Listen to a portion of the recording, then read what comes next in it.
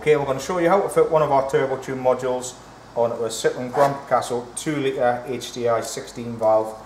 Same process applies for Ford Focus, Mondeos, um, Volvos and all the other 2 litre Peugeot, Citroen, Ford 136 and 140 horsepower engines. So first of all, pop the engine cover off. Right,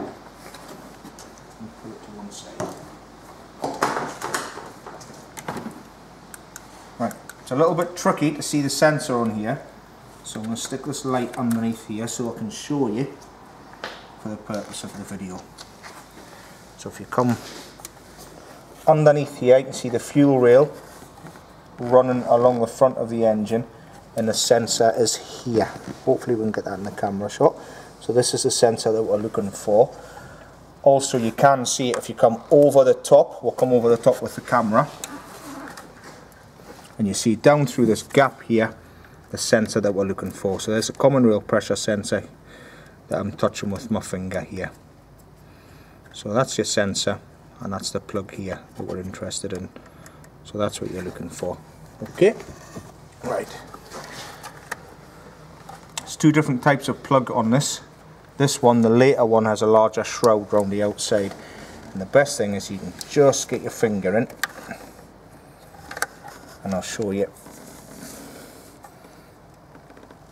All you're doing is squeezing that little part there to release the catch. On the earlier one it doesn't have the big shroud round here. It has the same as this type. And you're coming over the top and lifting the latch. So it could be either or. Later models usually 2010 onwards have this type of plug. If you find it difficult flicking this you can use a small screwdriver to come up and push it but usually you can just feel it with your fingernail. Push it and pop the connector off. So although that's a later style connector this one still does fit. There's no difference. So all you're doing. I find it easier to look down through the top where we were earlier and you can see the plug going in there and that's it clicked home also when you remove it it's best to put your hand in underneath and look from the top and then you can see what you're doing. So it's not as difficult as what it seems. Right. That's it. This one clicked on. And what we're going to do now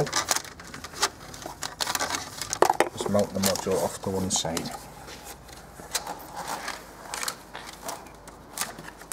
Right, we've already cleaned this surface up, we've got a nice flat dry surface up here that we're going to mount the module on.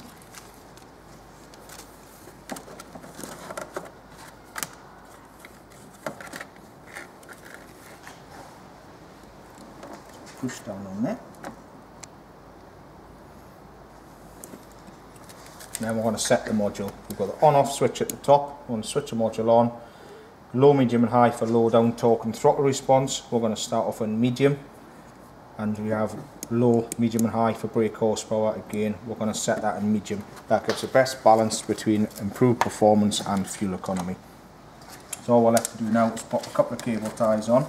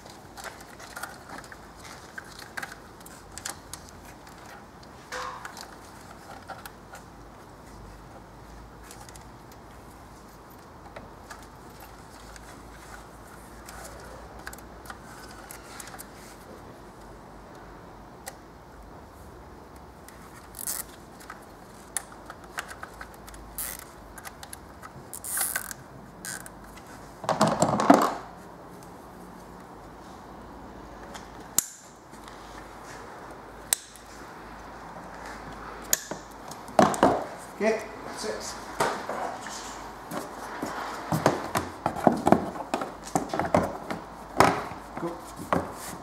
Refit the engine cover. That's it, all you have to do now, start the engine, go for a drive and enjoy the extra power.